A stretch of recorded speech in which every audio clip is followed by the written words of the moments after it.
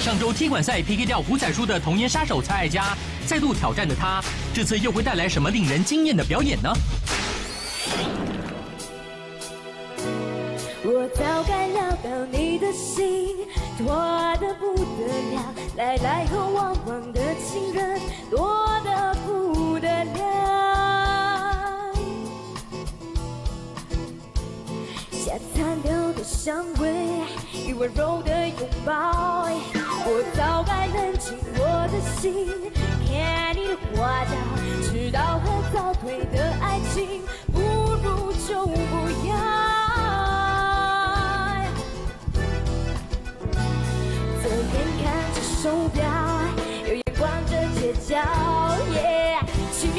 走，不要拦着我，我对飞翔的挑战的意愿不太高，请你让我走，不要拦着我，爱情面积太小，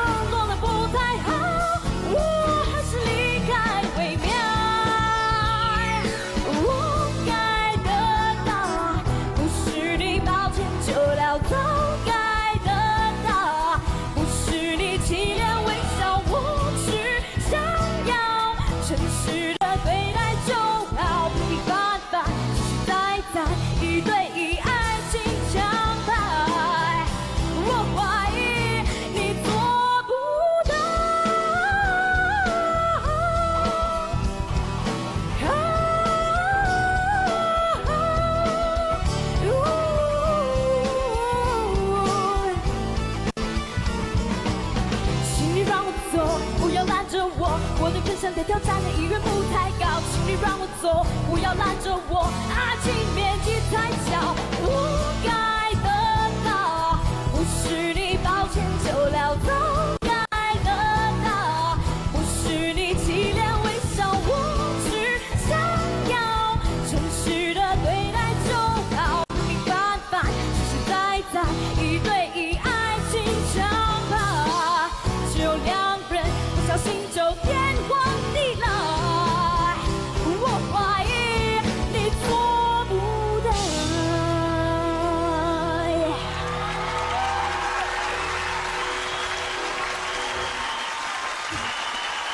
我怀疑你不止十五岁。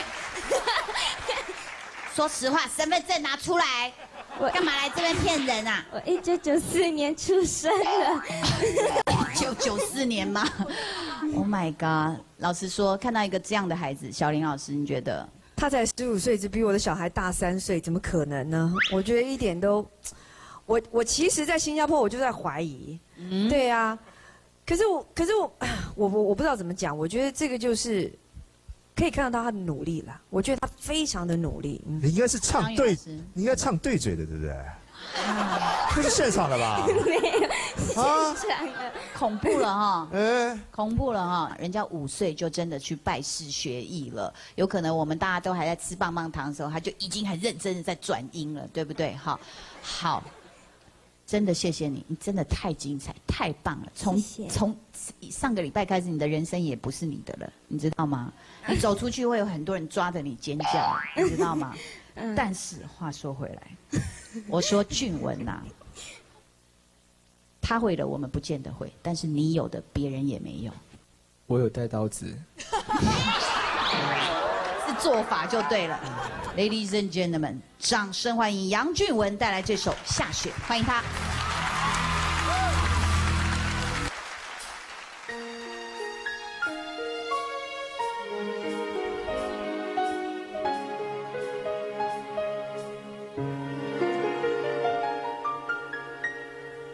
就快要下雪，心开始凝结，该怎么迎接我们最后一个圣诞夜？我害怕下雪。爱将会冻结，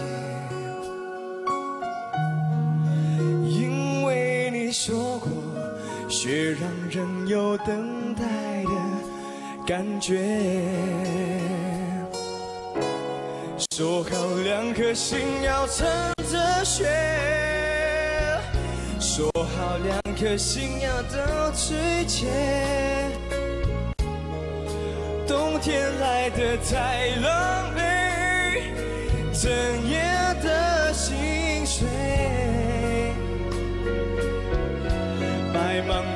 世界碎成雪，所有快乐都已流成泪，而我一个人面对整夜的心碎。白茫茫的世界碎成雪，所有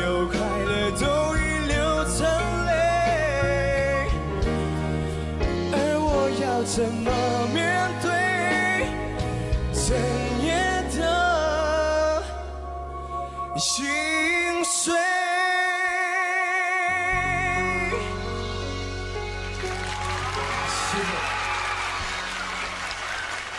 好，杨俊文的演唱，哇，这组 评审怎么突然之间都呆掉的感觉？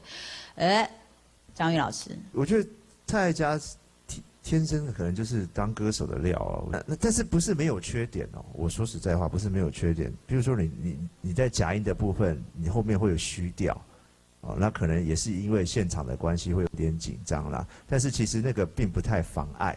今天你这个首歌的表现，Oh my God！我其实还蛮期待你唱抒情歌曲是什么样子。然后，其实我觉得杨俊文今天唱的不差，也很好。但是你为什么会把城门打开，直接让人家杀你一刀？就是你的歌词是怎么了？就是跟上个礼拜的那个曲终人生是一样的，你就是犯了一个那种就是阿公都听得出来的错误这样子。那你变成就是，我们很难 cover 你，你知道吗？就算有点私心都做不了手了。所以那个胜负，其实在我身上是还蛮明显的啦。这个杨俊文刚刚歌词的部分是，嗯，我可能 我们两个好好聊聊。就我都慌掉了。嗯，对，慌掉了是不是？被这陕西一下的。对啊。哇，马上来看分数。首先看到是蔡爱佳的分数，请评审按灯。蔡爱佳的演唱，我该得到几分呢？我该得到二十五谢，好久不见的二十五分。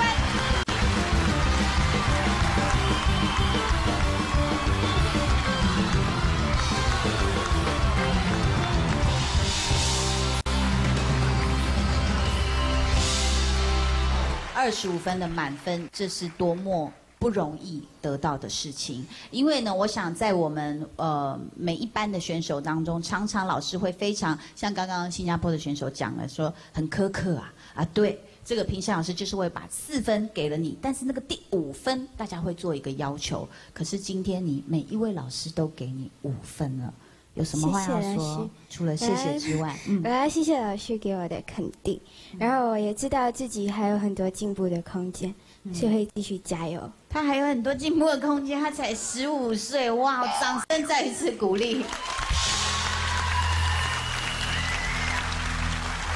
好，杨俊文，我们呢来这边是要学很多东西的，包括你碰到对手二十五分，然后在笑全场为他欢呼的时候，我们还是要站在旁边。等待这一切，就先来看看杨俊文的分数，请评审按灯。杨俊文今天演唱得到的分数是星光史上最难分高下的顶尖对决。他们是完全两个不一样的男生在唱。